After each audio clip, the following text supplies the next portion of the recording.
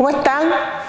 Quiero decirles que me siento muy emocionada de poder estar con ustedes en esta primera clínica que estamos realizando aquí en la ciudad de San Fernando para que ustedes puedan ver que hay mucho color, mucho color que nosotros podemos tomar, tanto de la naturaleza como colores que tienen que ver con las pinturas que hoy día les vamos a comentar. Quiero contarles que soy Gloria Venezuela, soy artista visual, eh, pintora de la ciudad, he estado haciendo clases en, esta municipalidad hace un, muy buen tiempo.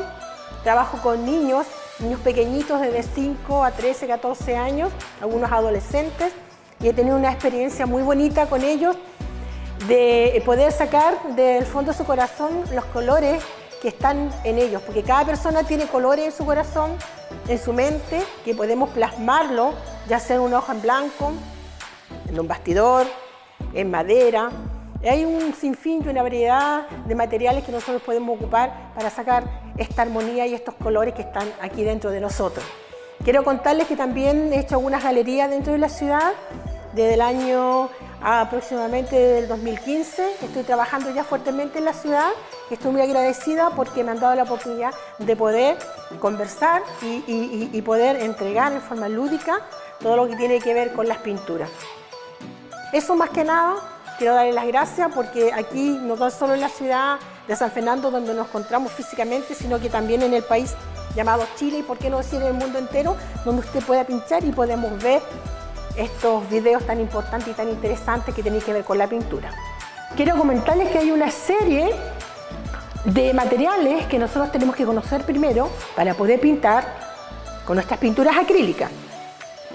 Bueno, tenemos que partir teniendo un cuadernillo ¿ya? Un lápiz, ojalá nunca goma, para que no borremos, para que todo lo que nosotros vayamos haciendo, aunque nosotros lo eh, encontremos que no esté bien, no lo borremos. Eso es importante para el pintor, para la persona que está haciendo algún tipo de dibujo, porque así se va acostumbrando a los errores, no a la perfección. Ahora, también quiero comentarles que nosotros podemos pintar sobre bastidores que son de tela, que lo podemos encontrar en cualquier tienda que tiene que ver con pinturas, nosotros también podemos pintar sobre madera. Estas pinturas son muy versátiles, así como podemos pintar, como ya les comentaba, en madera, en tela, en papel, podemos también pintar en cartones, podemos pintar en cerámica. Hay una infinidad en vidrio, muchas cosas sobre las cuales nosotros podemos tomar para pintar. Y también quiero contarles que las pinturas nosotros las podemos encontrar de distintas marcas ¿ya? Y cada marca tiene colores específicos y cada marca tiene eh, una carta de colores distinta a la otra. Muchas veces podemos, por ejemplo, encontrar, en, por ejemplo, un azul, ¿ya? De una cierta tonalidad, un cierto número, un cierto nombre, pero en la otra marca, el mismo azul puede ser más oscuro. Entonces eso a nosotros nos da una amplia variedad para poder pintar. Tenemos pomos pequeñitos, como estos, plástico, en lata, por ejemplo, tipo lata. También aparte de todo lo que tiene que ver con pintura, tenemos para trabajar em, pinceles, ¿ya? Pinceles de varios tipos, redondos, planos tipo brocha, grandes como este, pequeños para hacer detalles, como este pequeñito también que tenemos aquí, tipo lengua de gato que se le llama. Algún tipo de esponja, para hacer algún tipo de matiz, o pedacitos de esponja que a la mamá le queden de repente en la cocina. Esos pedacitos así también son interesantes para encontrar alguna variedad en cuanto a la pintura. También tenemos espátulas, ¿ya? Estas tienen que ver con el tema de la pintura cuando la queramos eh, engrosar, cuando queramos poner una mezcla, con, esta espátula vamos arrastrando y haciendo efectos muy interesantes. Tenemos que también tener siempre algo a mano donde pintar, ¿ya? en este caso algo fabricado por mí misma, donde nosotros podemos tener esta paleta, donde podemos esbozar nuestros trabajos. Puede ser un plato, puede ser un cartón, lo que tú quieras. Y siempre, siempre que no se nos vaya a olvidar tener pañitos para ir limpiando los pinceles. Eso es muy importante. ¿ya? Porque como esta pintura es de secado rápido, nosotros tenemos que ir limpiando rápidamente nuestros pinceles y los posando ahí en el agua. Como les digo, tenemos muchas, pero muchas, muchas variedades de pintura, de colores, de marcas, donde tú puedes encontrar de una forma muy económica en alguna librería, algún lugar especialista en pintura, ya eh, varios lugares en la ciudad donde nosotros podemos ir y mirar y ver precios y encontrar mucha, mucha variedad. Hablemos un poquito acerca de estos tubitos, de los colores, que mm, nosotros si los vaciamos, donde nosotros vamos a trabajar, en este caso la paleta, em, nos vamos a dar cuenta que no son diluidos, sino que cuando nosotros lo queremos diluir, tenemos que tomar el agua, ¿ya? mezclar y ahí vamos a tener un color diluido. La particularidad de esta pintura es que nosotros podemos hacer eh, algún tipo de aguada, tipo acuarela, con mucha agua, y al mismo tiempo nosotros podemos hacer algo muy pastoso, que tiene que ver con algo que sale de la pintura hacia afuera. Entonces esta pintura tiene muchas particularidades, que podemos hacer muchas cosas, ya sea plana o cosas con cuerpo. Acá nosotros tenemos las pinturas. Vamos a dejar aquí esto, porque yo quiero eh, llevarlo acá al, cuadernillo. Por ejemplo, sacar un poquito de pintura, poner un poquito acá, para que tú lo vayas viendo lo pastoso que es. Y al mismo tiempo de ser pastoso, yo saco un poco, saco, saco, saco, y puedo llevarlo a un color más claro y podemos hacer algo, algo así como, como témpera, como algo muy sencillo, algo bien translúcido. Nosotros podemos, por ejemplo, tomar un negro y todos tienen la misma particularidad, es ser espeso y al mismo tiempo podemos ponerlo más claro. También con la paleta, que en este momento tengo en la mano, nosotros podemos hacer algún tipo de rayas.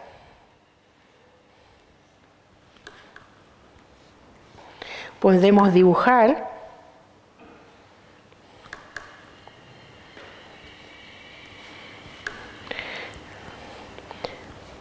¿Se dan cuenta? ¿Sí? Y podemos tirar acá a nuestro cuadernillo para ensayar, para tirar pintura. Podemos hacer algún tipo de árbol.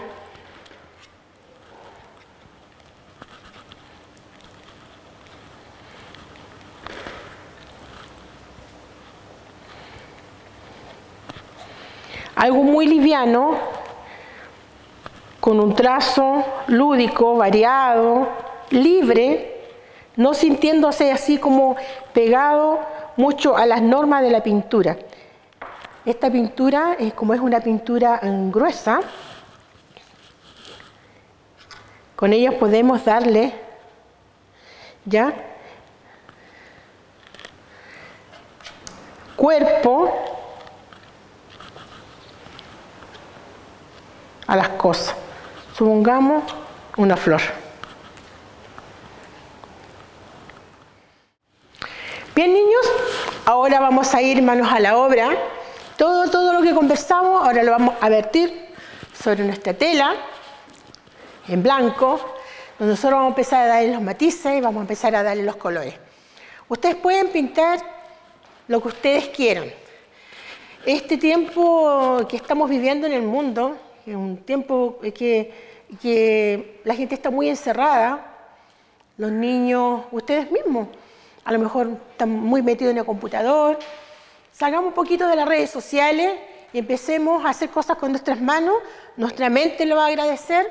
Vamos a empezar a salir de ese encierro a lo mejor de la casa, pero nuestra mente se puede explayar y podemos empezar a pensar en colores, en paisajes, en árboles, en el mar, en una plaza, aire libre.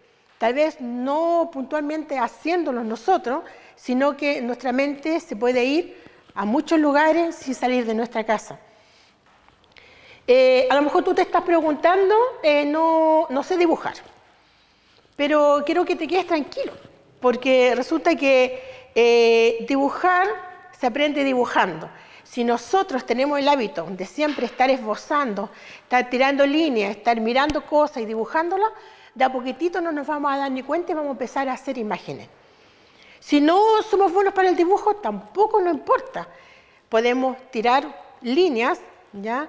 haciendo eh, eh, eh, las veces tal vez de una casa, de una lancha, de un árbol, y lo que tiene que ver con la pintura, la pintura va a poner el relleno, la pintura va a hacer los detalles. Cuando hagamos un dibujo, para poder pintarlo, no hagamos detalles chiquititos.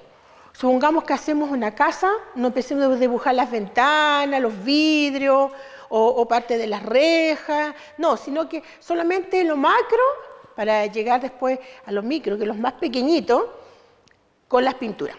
Esa es la gracia de la pintura acrílica, que nosotros podemos hacer muchos, muchos matices y muchos detalles con esta pintura. Quiero eh, eh, contarte que he pensado hacer unas lanchitas, ¿ya? hacer algo de mar, algo libre, que tú puedas pensar que estás en la playa tal vez, con un lindo sol, y a lo mejor, ¿por qué no?, pasear en una lancha, en un bote, y poder tocar el agua y poder ver un paisaje hermoso. Acá tenemos nuestra tela en blanco, donde nosotros podemos dibujar algo muy sencillo con un par de líneas. Podemos em, hacer en este caso una lanchita, unos botes donde nosotros vamos a salir a pasear. Eh, porque es importante ocupar nuestra imaginación. Porque si nosotros no ocupamos nuestra imaginación, la mente también se atrofia, igual que las cosas que no ocupamos. Y si estamos todo el día, a lo mejor metidos con las teclas del computador, no vamos a sacar lo lindo que está en el corazón hacia afuera. En este caso, experimentar, no importa, como le decía, que no sepamos a lo mejor hacer un dibujo, pero sí podemos inventar, podemos copiar, Incluso, incluso si no sabes dibujar y hacer muchas cosas, tú puedes calcar un dibujo. También nos damos permiso para hacer un calco. Calcarlo, sacarlo de alguna manera y hacerlo eh, y plasmarlo en, en esta tela en blanco. Y así nosotros después con las pinturas vamos a ir enriqueciendo esta obra que vamos a hacer. Continuamos con nuestros barquitos, hacemos un poquito de sombras. ¿Sí? Siempre cuando nosotros hagamos una obra, tenemos que pensar que tiene que quedar centrada dentro de nuestro bastidor. No podemos, por ejemplo, en este caso, que yo estoy haciendo estos botecitos, no puedo hacerlos, por ejemplo, aquí en esta orilla y que me sobre todo, todo, todo el resto de la tela, porque al ojo se va a ver mal. Entonces nosotros siempre tenemos que centrar nuestra figura dentro de nuestro bastidor. Seguimos haciendo nuestro botecito. Vamos a hacer unos aquí, como en la profunda, como que están un poquito más lejos. Estos están en el primer plano, los otros van a quedar más atrás. ¿Sí? Algún tipo velas.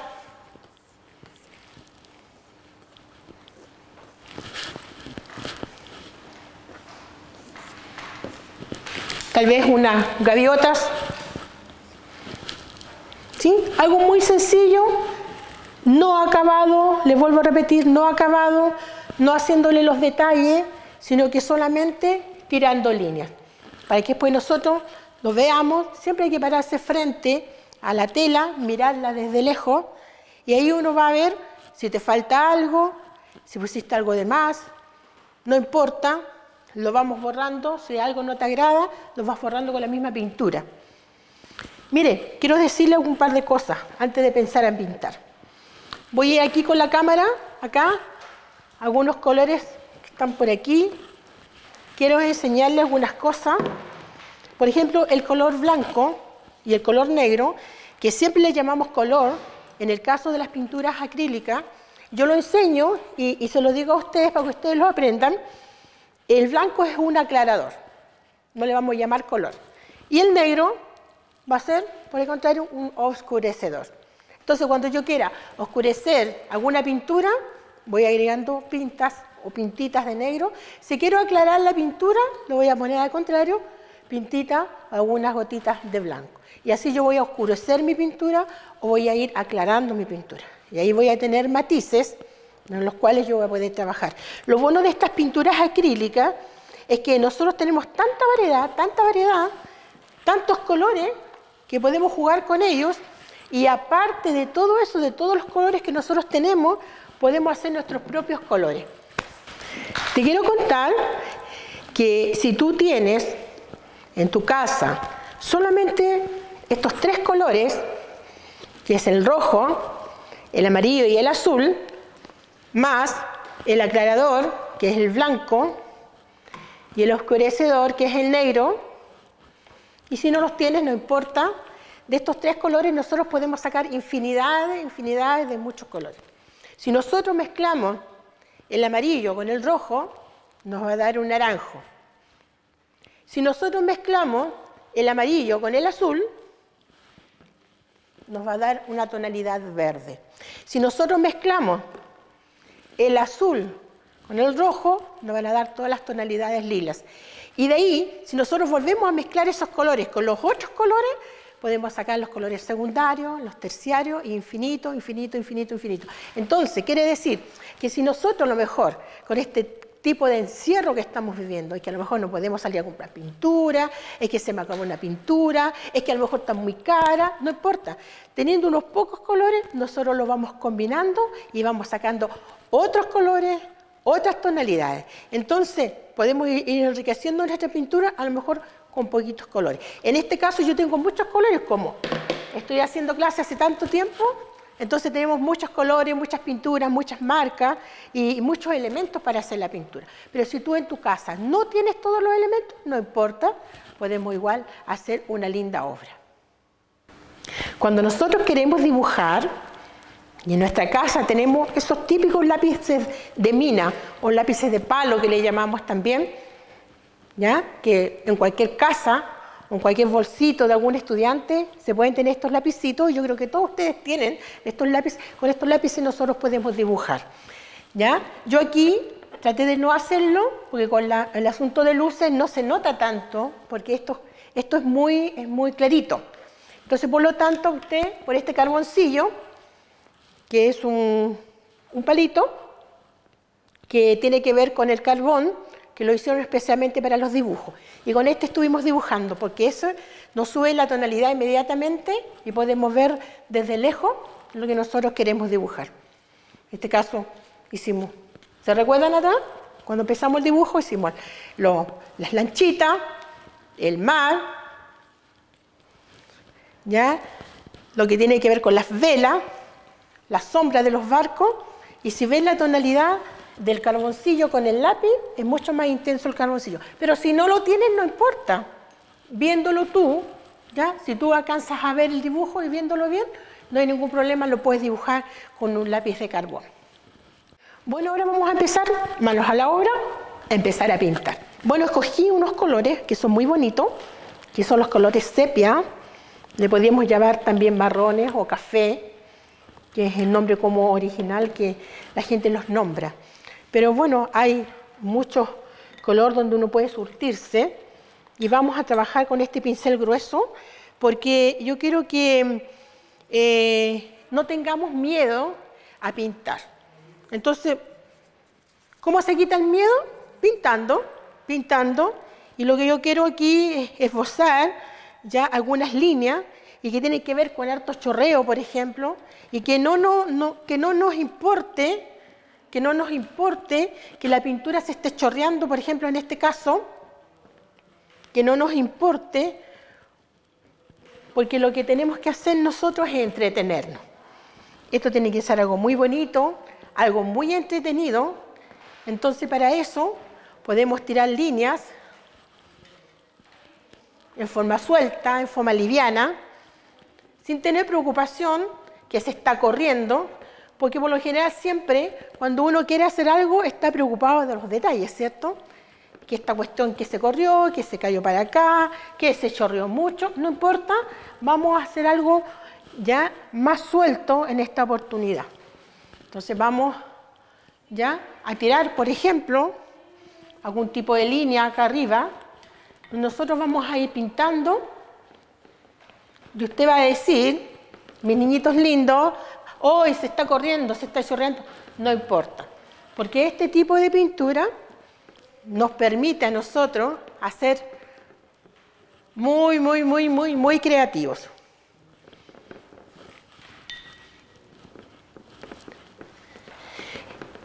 En los cursos que estamos dando, por lo general, aquí en la Casa Cultural de la ciudad, nos hemos encontrado con muchos niños pequeñitos y niños más grandes. Yo he tenido en mi taller algunos niñitos chiquititos, unas niñitas específicamente de 5 años. Y fíjese que logramos muchas cosas muy bonitas. Bueno, de partida los papás estaban muy contentos, porque los niños aprendieron a soltar su manito, y aprendieron a no tenerle miedo a estos espacios en blanco. No tenemos que tener eh, eh, temor ¿ya? de estar frente a un lienzo en blanco, porque eso nos va a permitir que nuestra, nuestra creatividad pueda fluir. ¿Sí? Si quedan algunos espacios en blanco, no importa. Después vamos a ir rellenando algunas cosas.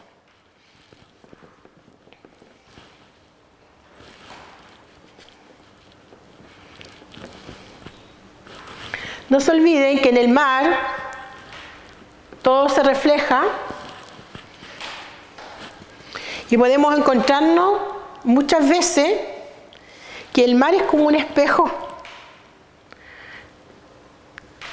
Y es muy interesante, tal vez, no sé si tú alguna vez has viajado en lancha, en bote, mirar cómo uno se va viendo en el mar, igual que un espejo.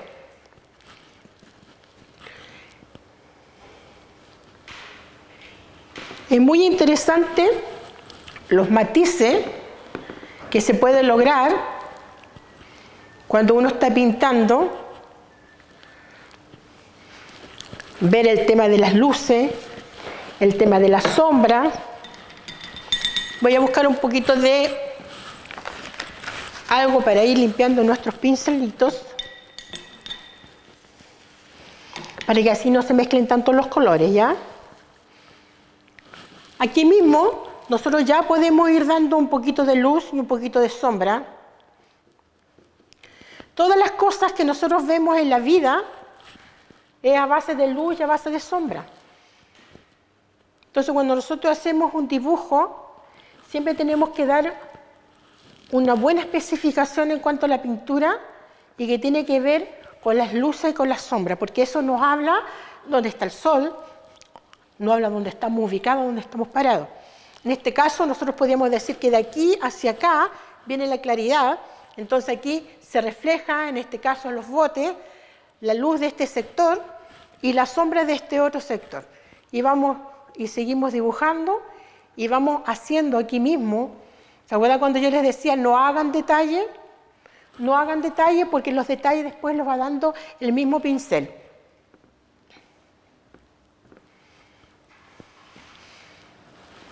La parte de atrás, como se supone que estos botes que están, o estas lanchas que están acá, están más lejos, las vamos a pintar un poquitito más claritas. Que la parte de adelante, que esto va a ser nuestro primer plano, y lo de atrás va a ser nuestro segundo plano. Y le vamos a dar inmediatamente un poquito de sombra, un poquito.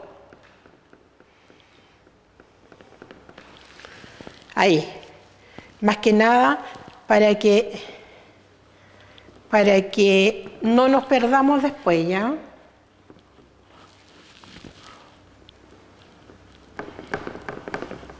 Todas las cosas que están más lejos siempre son más claritas. Ya, como primer, como, eh, eh, como, em, como primera parte, voy a poner un nombre como primera parte, vamos a dejar nuestro trabajo hasta ahí para que se nos seque un poquito y vamos a continuar y vamos a ir ya metiendo otros colores para que vayan viendo cómo van, a ir después apareciendo estas lanchitas. Quiero contarte acerca de algunas pinturas que te quiero eh, decir más o menos cómo uno puede llegar a algo como esto. Por ejemplo, esta pintura de esta muchacha que está danzando sobre el mundo, una, una pintura que em, se me vino aquí a mi corazón y la pinté. ¿Cuál es el tema? El tema es que una muchacha que está bailando y está danzando, pero cómo yo podía hacer ese trazo libre que tiene que ver con el vestido, por ejemplo. Entonces para eso se ocupan las paletas. ¿Ya? Esta paleta, ¿ya? Nosotros ocupamos para llevar mucha pintura y podemos trazarla aquí, en este caso, lo que se asemeja aquí al vestido. Lo que tiene que ver, por ejemplo, con el cuerpo, esto ya es pintado con pincel. Los detalles, eso ya se hacen con los pinceles. Y todo lo que tiene que ver con el fondo, tú puedes con la misma mano tomar pintura y rasgar el fondo y tirarle pintura por aquí, pintar por acá, hacerle también con tus manos. O sea, tú puedes ocupar muchas cosas. Paleta, pinceles, espátulas donde tú puedes trabajar y puedes llegar, ya, llegar a, obtener una pintura como esta.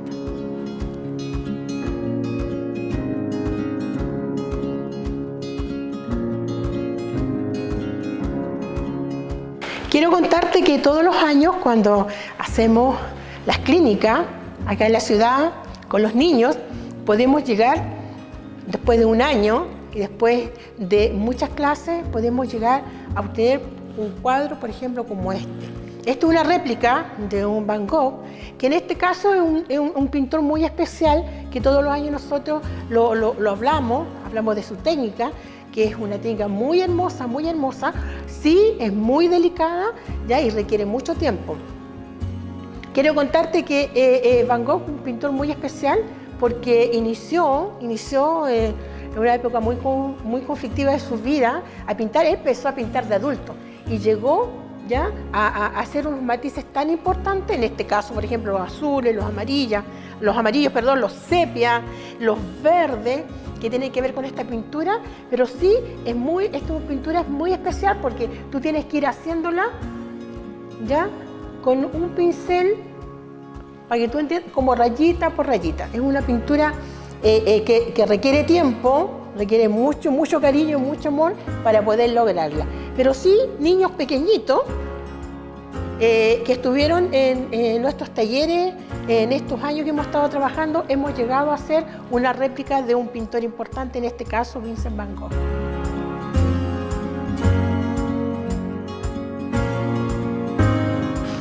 Mis niñitos lindos, quiero decirles que por favor no se asusten al mirar una pintura un poco más acabada, eh, que tiene que ver con las mismas pinturas, los mismos eh, materiales en este caso, los mismos pinceles, las mismas espátulas, que podemos llegar a lo mejor de, lo, muy chiquitito, de lo mínimo, de un dibujo muy pequeño, a lo mejor eh, algo muy sencillo, muy simple, pero nosotros podemos llegar con el tiempo, si nos esforzamos, no le voy a decir que de una clase a otra vamos a pintar algo como esto, pero sí podemos llegar a lograrlo si somos insistentes y si pintamos en nuestra casa y tomamos los lápices y dibujamos, podemos llegar a lograr cosas más interesantes como esta figura de un animal, de un león en este caso.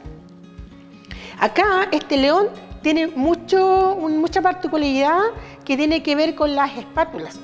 ¿ya? Aquí hay mucha espátula, porque la espátula da mucho cuerpo a, las pinturas. Entonces, si tú ves todos estos sectores, prácticamente es pura espátula.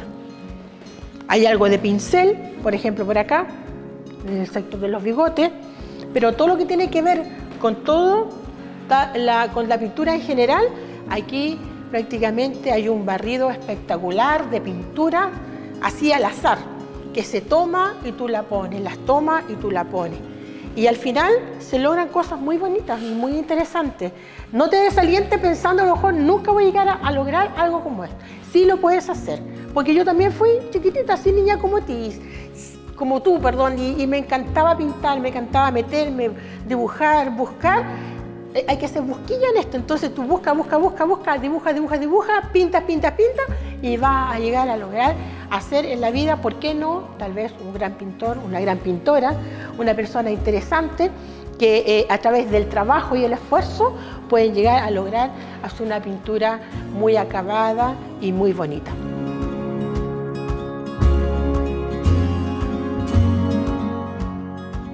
También quiero decirte que tenemos que ser muy cuidadosos con nuestros pinceles, con nuestras espátulas o con nuestras brochitas.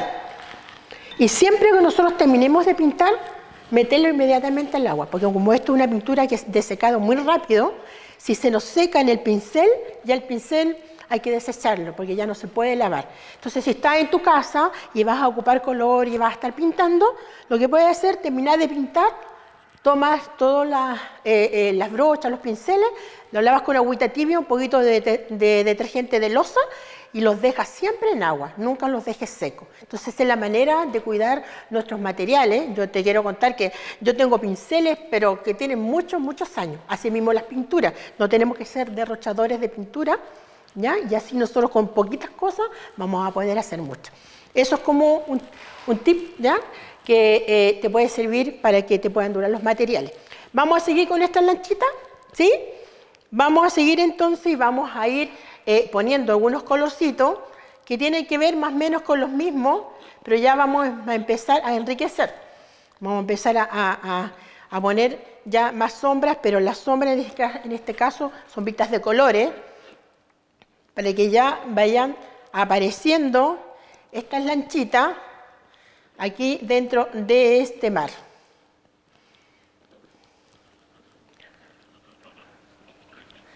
Como puedes ver, un poquito de color cambia inmediatamente todo. Igual que en la vida, las cosas de colores, las cosas buenas nos cambian. Cambian nuestro sentido incluso hasta del humor de repente. A veces andamos medio enojados, pero si hacemos algo bueno, algo bonito, ya mm, nos va a cambiar inmediatamente el panorama. Así mismo las pinturas cambian, ¿ya? Le van dando más vida a nuestro trabajo.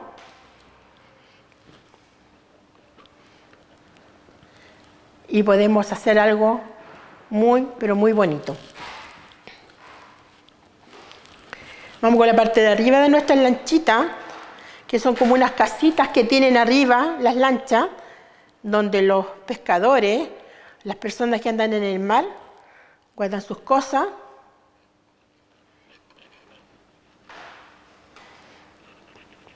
como unos pequeños refugios que tienen ahí eh, las personas que trabajan ahí en el mar. Vamos a hacer un poquito de, sombra acá abajo, porque todo, todo lo que nosotros vemos tiene algo de sombra, donde nosotros podemos ver en este caso ya que algo se va a reflejar ya en el mar. A lo mejor tú puedes decir, pero esos colores no están en el mar. Tía, usted se equivocó, pero como son pinturas no reales, esto es algo ficticio, algo que no existe, entonces nosotros podemos tomarnos la libertad de poder pintar de los colores que nosotros queramos. La particularidad del artista, pintor, de la persona que, que pinta y tiene en sus manos muchos colores, tiene como ese don para poder expresarse en los colores que usted quiera. Por ejemplo, cuando les mostré otras pinturas que tengo más atrás, por ejemplo, usted puede hacer un león verde, por ejemplo, lo puede hacer rojo, con distintos colores, y usted puede ir metiendo mano y co-creando ¿Por qué digo co-creando? Porque ya hay un creador, ¿cierto? Ah, ya hasta Dios quiso todas las cosas, la naturaleza, lo animal, pero nosotros somos co-creadores porque no podemos eh, eh, eh, crear nada, ¿sí? Co-crear y hacer em, pintura con los colores que nosotros estimemos, que nos gusten, ya que nos llamen la atención.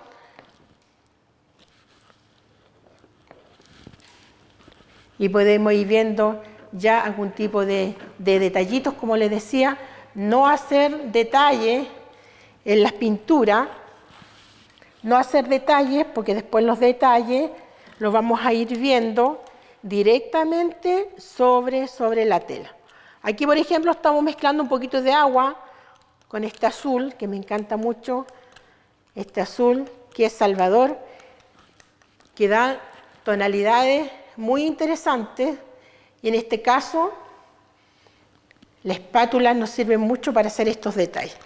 La espátula, importante, la espátula siempre nosotros tenemos que ocuparla de costado. Nunca de frente, a no ser que queramos rellenar solamente. Pero si queremos hacer eh, tipo rayas, en este caso, la parte de las velas, nosotros podemos ocuparla de costado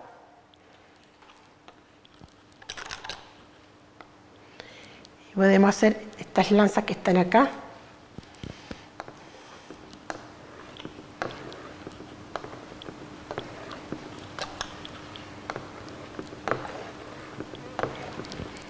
algo muy sencillo acá atrás, porque como son cosas que están, se supone que están lejos, no tienen que estar tan marcadas.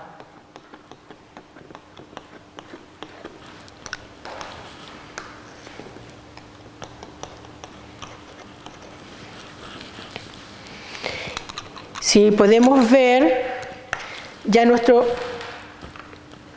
imagen ya se está notando un poco más. Al principio podemos ver que a lo mejor no es lo que a lo mejor eh, pensábamos como no iba a quedar, pero a medida que nosotros vamos poniendo pintura, vamos viendo que empiezan a aparecer nuestra imagen, esta imagen que queríamos hacer acá, que en este caso son nuestras lanchitas, ya dándole inmediatamente aquí un tipo de luz y sombra. Acá está la luz, por lo tanto le tiramos un color más claro. ¿Sí? La luz. Y aquí puede ser nuestra sombra. Oscurecemos un poco más lo bueno de la pintura acrílica es que nosotros podemos ir tirando pintura sobre pintura. Se dan cuenta que aquí no necesitamos goma, ni borrar algo. Si algo no te gustó, le pones otro color encima, esperas que se seque, como es de secado rápido. Ahora, si tú quieres hacerlo más rápido, puedes con un secador de pelo, ¿ya? Estar en la pintura, en el sector donde tú quieres que se seque, eh, en una forma muy rápida, el calor va a secar ese sector y vas a poder poner pintura sobre pintura. Cuando ponemos pintura sobre pintura, eso hace que nuestro trabajo tenga cuerpo. Le da cuerpo a nuestro trabajo.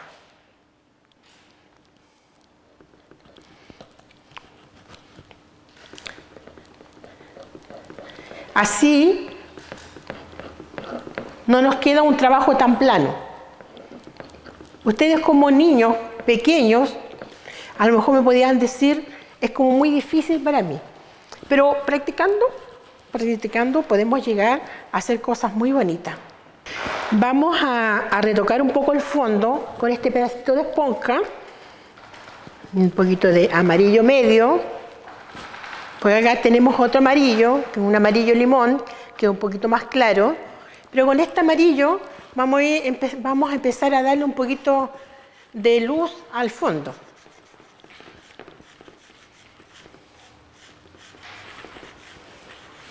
solo en ciertos sectores para no saturarlo.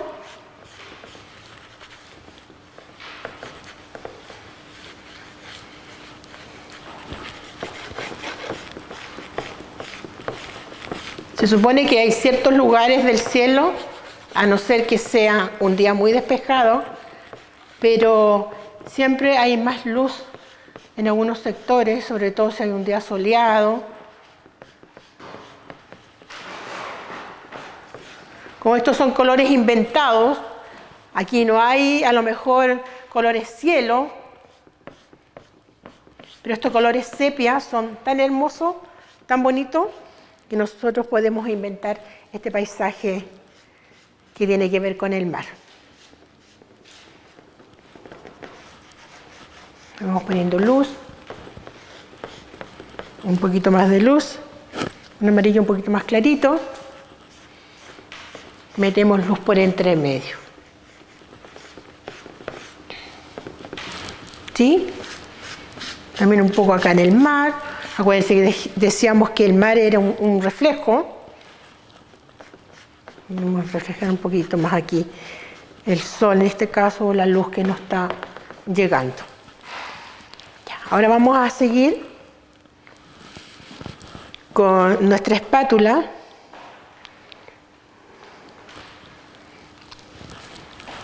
Vamos a ir formando un poquito más los botes. Todavía está un poco deformado, entonces vamos a ir haciendo líneas, ya donde vamos a ir acabando un poquito más la pintura.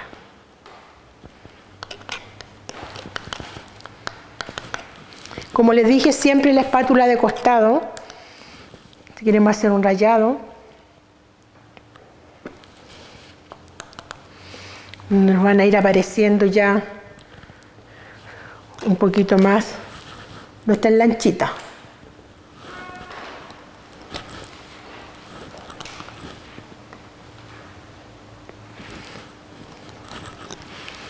A lo mejor al principio no es fácil hacer trazos tan perfectos, pero todo esto requiere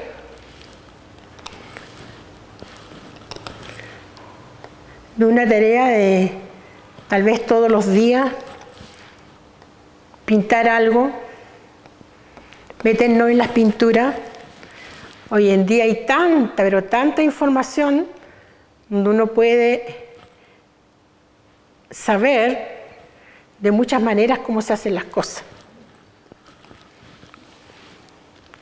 Como les comentaba, estamos viviendo como un encierro involuntario donde no podemos tal vez salir, pero nuestra mente puede ir a muchos lugares. Yo les pido, chicos, que ojalá pudieran salir un poco de internet, empezar a hacer cosas con la mano, esa motricidad fina de las manos. Siempre se adquiere con, con tiempo. A lo mejor nos van a salir unas líneas medias chuecas, pero eso habla de que no tenemos solamente la práctica. Pero ya empezando a practicar, van a empezar a aparecer muchas cosas interesantes y esta pintura acrílica nos da pero un sinfín de posibilidades de poder hacer cosas interesantes. Si te das cuenta ya se están empezando como a notar nuestros botecitos. Mire, eso es importante. Con nuestro dedo nosotros nos apoyamos acá ¿ya? y pasamos de largo nuestra espátula. Porque si nosotros hacemos esto en el aire, nos va a quedar el trazo eh, un poco como tritón, ¿ya? Se va a salir de donde queremos. Pero si nosotros nos vamos apoyando con estos dedos acá en la pintura, vamos a ir haciendo rayas, rayas, rayas, rayas, que nos van a quedar un poquito más, más derechas. Como decíamos, este cuadro, esto que estamos haciendo aquí es algo libre, no estamos presionados, sino que estamos haciendo algo con toda libertad.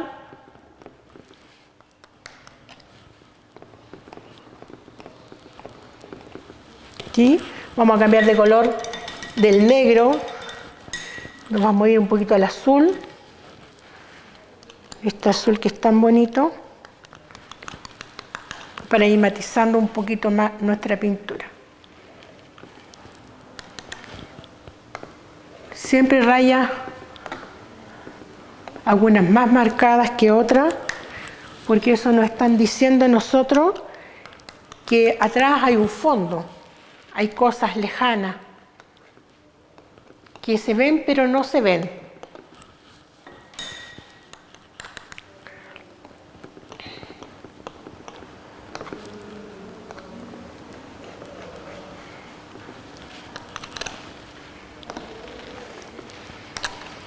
A ver, están notando como de a poquito empieza a aparecer las imágenes.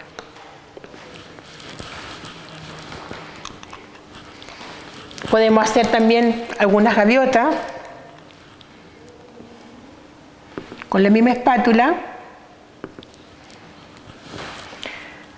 Mientras más cercana la gaviota, más grande, estas nos están diciendo que están más lejanas. Bueno, ahora em, estamos en el tema de hacer un poquito de detalles. eh, nuestro cuadro vamos a ir poniendo un poquito más de blanco por estos sectores para ir aclarando un poquito más nuestra pintura, como asemejando que por aquí hay un tipo vela que entre que se ve y que no se ve.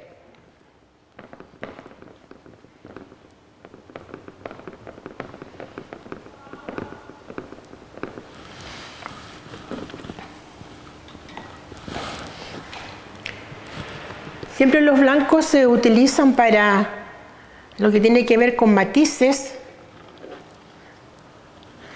porque ahí nos va diciendo, el blanco siempre nos va diciendo eh, dónde está la luz.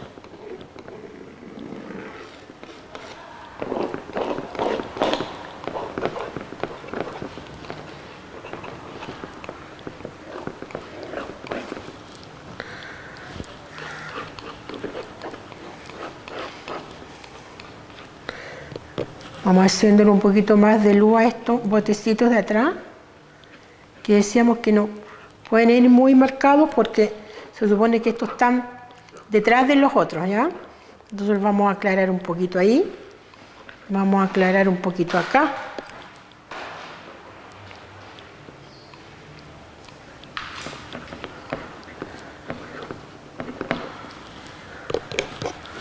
Vamos poniendo nuestros blancos por aquí ya como ya dejándolos más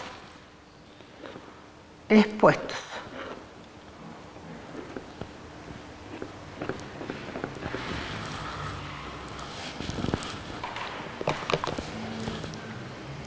Aquí, acá,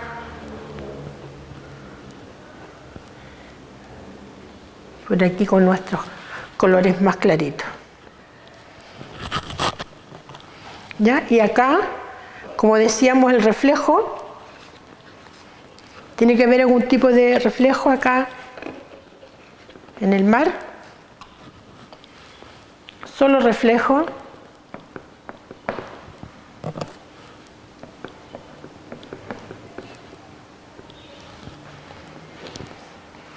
Ahí. Vamos a reflejar algo cafecito. Son nuestro reflejo.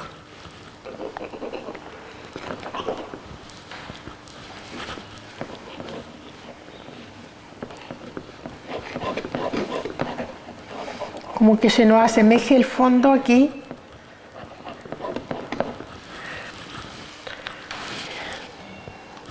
Como que tal vez puede haber aquí, no sé, una, una, una, unos edificios, algo al fondo, algo que esté ahí diciéndonos que